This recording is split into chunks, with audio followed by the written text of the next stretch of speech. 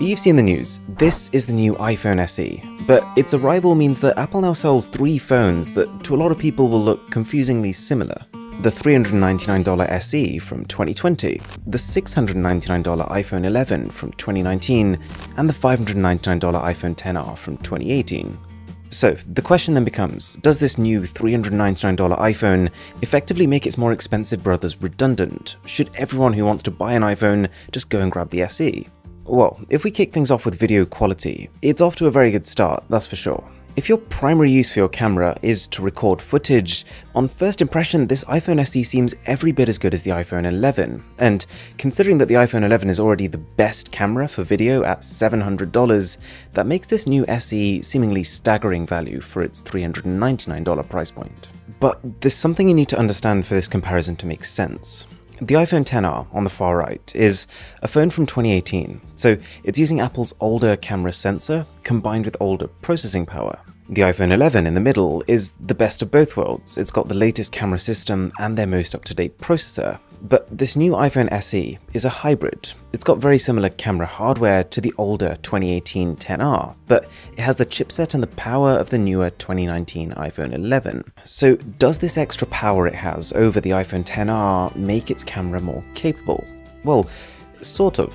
All three phones can shoot at 4K resolution, and they all use something called Smart HDR, which is basically Apple's way of saying that we can make sure all parts of the image are well exposed. But the iPhone SE and the iPhone 11, thanks to having the most up-to-date chips, have a more advanced version of this. The ability to identify every single object in a scene and then make sure that each individually is correctly exposed. Can you tell though? With difficulty. If you look at my arms in this scene here, the SE and the 11, they have managed to more correctly process my real skin tone. XR is coming out as a little red, but apart from that, I can't see a single difference. The lighting, the building in the background, it's all pretty much the same. To be clear though, this is less about picking faults with the newer phones and more about just appreciating how well the older 2018 iPhone XR is holding up. I even put these phones through the most challenging test, which is just facing directly towards the sun, and all three can still correctly expose their subjects. And it genuinely feels like I've recorded these clips on the same phone three times, which, to reiterate, is good news for this cheaper iPhone SE. These aren't perfect phones, we'll come to that, but as far as recording video during the day, you can't go too far wrong here. And that includes optical image stabilization. All three phones have it, and it does a good job of minimizing the bumps and shakes as you're walking around. The one caveat of it is that if you try to run using these phones, the quality deteriorates. It does seem though like the two phones on the left have improved in this aspect versus the older XR. If you really care about stability, you can lower the recording resolution to 1080p and it improves, but it's still not amazing. These phones aren't really made to be kind of running around with and recording. What about photos? I almost feel like I need to clarify here, no, I haven't just taken one photo and pasted it three times. These are three different generations of device, but the output is consistent to the point where I had to stop and check. Like, if I jumbled up the photos taken on these three phones, almost everyone would struggle to guess which photo has come from which device. There are differences, but in the day at least, all three iPhones breeze through, managing to strike that balance between having a bright image but not so bright that you start to lose details in places like the sky. Colours are realistic, skin tones, the colour of flowers, and greenery is all represented well in a way that feels true to life.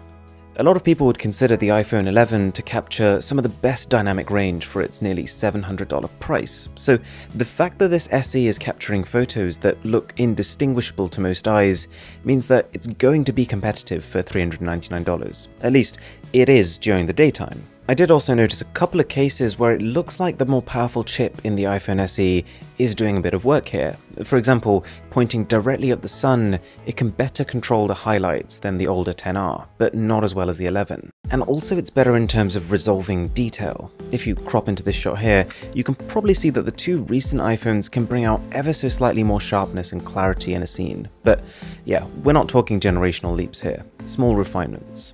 All three have similar sensors and an identical aperture of f1.8, so photos have more or less the same level of natural background blur when you get up close to your subject. But speaking of background blur, portrait mode has some differences. All three phones can use facial recognition to take portrait mode photos of people, and this is something iPhones have historically excelled at. I do generally prefer the way portrait mode photos look when they're taken on a phone's telephoto camera, because here for example, none of these phones have a telephoto camera, so you have to go right up close to someone's face to take a portrait mode shot, and that creates a little bit of distortion, but given the hardware we're working with, the software's doing a good job here. But worth bearing in mind is that the iPhone SE and the XR, they only have one camera compared to the iPhone 11's dual cameras. And those two cameras mean that the iPhone 11 can naturally detect the depth of all objects, not just faces. So as well as people, on the iPhone 11 you can take portrait mode shots of anything, of bottles, of basketball nets, of leaves. You can make this a subtle effect, or you can go a bit nuts with it. If you try to do this on the other two phones, you'll just get an error message that no face is present. Now, here is where iPhone 11 starts to really pull ahead. It can take night mode photos, and the difference between this and the other two is noticeable if you're in medium lighting conditions, but becomes more and more noticeable the darker it gets. If we lower further, to the point where I was struggling to see the objects that were sitting under the desk, then the iPhone SE and XR, they're also struggling to see, but the iPhone 11 actually keeps a lot of the detail that it had when the scene was more well lit. If you fancy yourself as a night photographer and iPhone is the route you want to go down, then it's pretty simple. The 11 or the 11 Pro are a generational leap ahead. I kinda wish Apple had added night mode to the SE. It's definitely possible given that the phone has the latest chipset, but I'm guessing that because the end result would have been a halfway house, not as clean as it is on the iPhone 11, Apple wouldn't want to damage the reputation of its night mode. The smaller flash module on the back of the SE was also initially worrying to me, but it's actually fine. It can still fill a pitch black room with light and still take crispy shots, albeit with slightly more noise than on the iPhone 11. Now, quite possibly the biggest advantage of the 11's camera, I'd say even more important than night mode, is the addition of an ultra-wide lens. It allows you to capture wider, more dramatic shots, and I'll be honest, since we started seeing ultra-wide cameras on phones, I find myself reaching for this option probably 30% of the time, so it's a real shame to see it's not present on the SE. It's kind of important for video too, with the ultrawide, you get that same dramatization but in motion. For example, there's been quite a few times actually where I've tried to give someone an idea of the amount of space in a room, and in cases like these, the ultrawide captures in a way that your normal main camera just can't. None of these phones, as I mentioned, have a telephoto camera, so the quality deteriorates fairly fast if you start zooming in. All three phones can take slow motion video at 1080p at two different frame rates, 120 frames per second, which is pretty slow, and as far as quality is concerned, there's a noticeable hit compared to recording normal video, but this is still some of the better looking slow-mo footage out there. They can all also shoot at 240 frames per second, or in other words, twice as slow. This is the mode I tend to keep my phone on, but you face a further quality trade-off. It's very slow, but also bear in mind that there are phones out there that can take like 7000 frame per second slow-mo footage, so compared to that, this isn't the slowest. The iPhone 11 can also do this exact thing but on the front camera, and it works well, I'm just not sure who actually uses it or what even a good use case of it would be. But more importantly, the reason the iPhone 11 can do that is because its selfie camera is better. The new SE comes with the same 7 megapixel front facing camera as the XR, which is to say, it's fine, but it's not as good.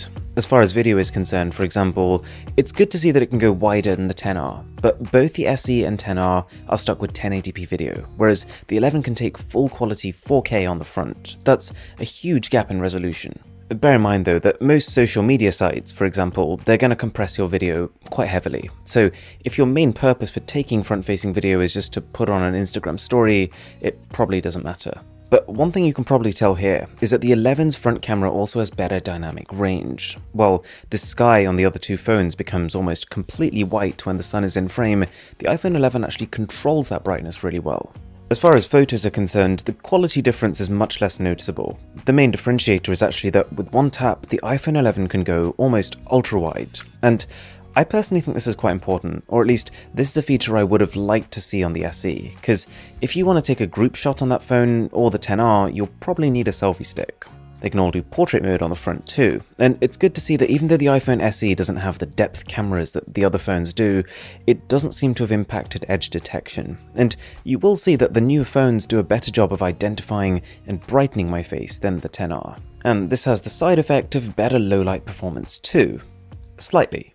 So, in conclusion, the iPhone SE camera, it trades versatility for reliability. There are a whole sea of Android phones at $400 that can do more. They have ultra-wide cameras, they have zoom cameras, some can take brighter photos in extremely dark environments. But as far as having a camera that I've been able to rely on, as far as having a camera that I could just hand to a random stranger to take a photo of me and trust that there'll be a good result from it, no other $400 phone I've tried so far is quite as good as this. It's pretty good at everything and extremely good at video, to the point where for most people, as far as the camera is concerned, the existence of this new SE all but invalidates the XR. It's the same in most cases, but cheaper and sometimes better. That said, the iPhone 11 still definitely has a place. There's quite a few areas where that camera shines above the SE, like its night mode, or its ultra-wide camera, or its far better front camera.